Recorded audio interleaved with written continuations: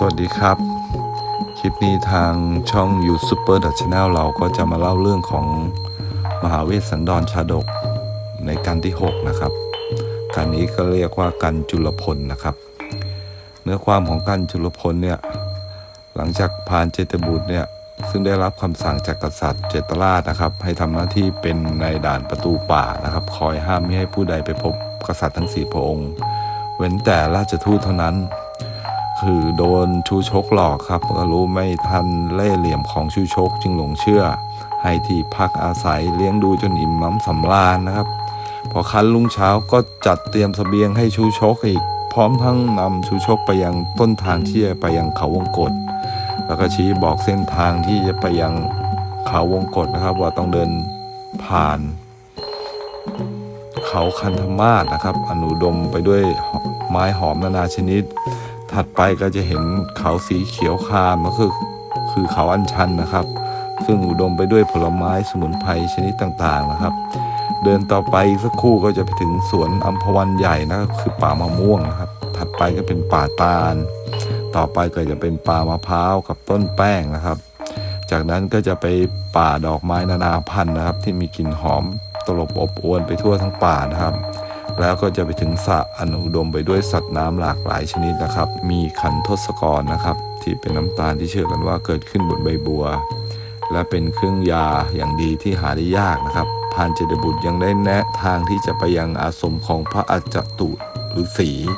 เพื่อให้ชูโชกถามถึงหนทางที่จะไปยังพระอาสมของพระเวสสันดรนะครับ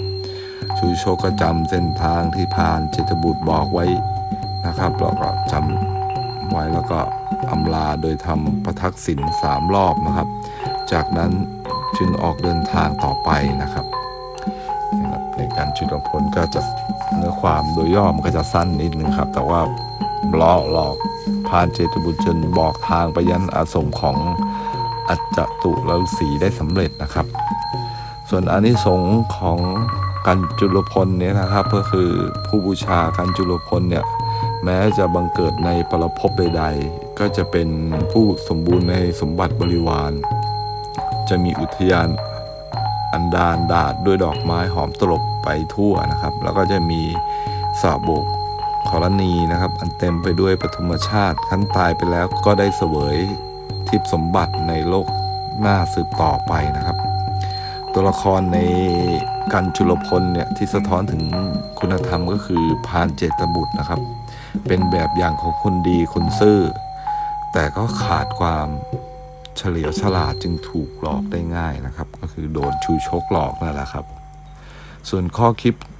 ประจำกันจุลพลนะครับก็คือข้อหนึ่งคือมีอำนาจหากขาดปัญญาย่อมถูกหลอกได้ง่ายนะครับ ข้อ 2 ก็คือ คนโง่เป็นเหยื่อของคนฉลาดนะครับ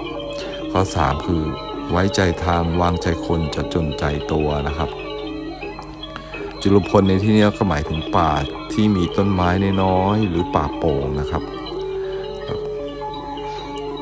ขอคิดเด็ดก็คือมีอำนาจแต่ขาดปัญญาย่อมถูกหลอกได้ง่ายนะครับ ในกันจุลพลเนี่ยประดับด้วยพระคาถาทั้งหมด 35 พระคาถานะครับ ส่วนเพลงประจำกันจุลพลก็คือเพลงคุกพาดหรือเพลงรัวสามลานะครับ ที่ใช้ในการเทศมหาชาตินะครับมหาชาติทรงเครื่อง หาชาติเนี่ยนะครับสำหรับคลิปที่ 6 นะครับ ของวาเวสันดรชาดกในตอนกันจุลพลของทางช่อง You Super The Channel เราก็คงจะมีประมาณนี้นะครับ ก็ฝากเพื่อนๆ กดติดตามกด Subscribe ด้วยนะครับ แล้วก็เดี๋ยวเราจะเล่าในตอนต่อไปจนครบทั้งหมดนะครับสำหรับคลิปนี้ก็มีประมาณนี้ครับ ขอบคุณมากครับ สวัสดีครับ